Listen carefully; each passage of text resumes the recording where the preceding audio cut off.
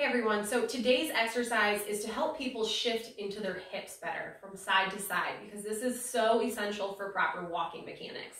So we are going to need an elevated surface. I like to just use an old textbook. It's about, about an inch and a half thick, but um, it's nice and sturdy and I have it on a yoga mat so it doesn't slide. So you are gonna have both feet, one on the book, one on the floor.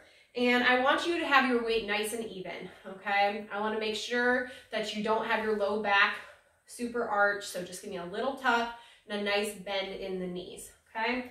From there, all we're gonna do is we are going to use the leg that's on the foot and push us over onto the leg that is on the book, all right?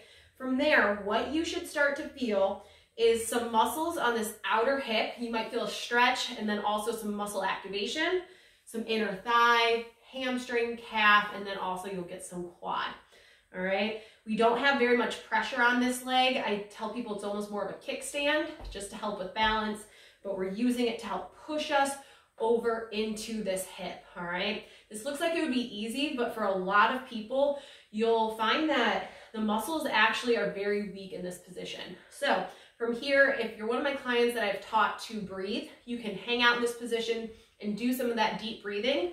Otherwise, you can just sit here, hold the, the position and really feel those muscles working. So I also wanna show you it from the side, just because I think it helps to see how far I'm sitting back.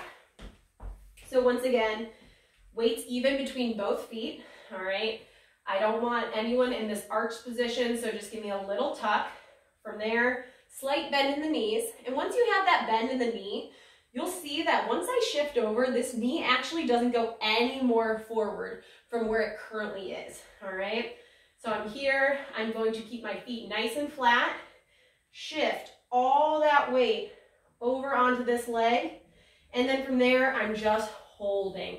And I'm really feeling these muscles work, not letting any swaying happen, not letting that knee go forward. This is me kind of sitting into this hip. All right. So if you have any questions, let me know. Otherwise, give that a try. Slowly build your time up. If you can only hold it for 20 seconds, great. Slowly try to get it up to even just a minute, and then we'll go dynamic with it next.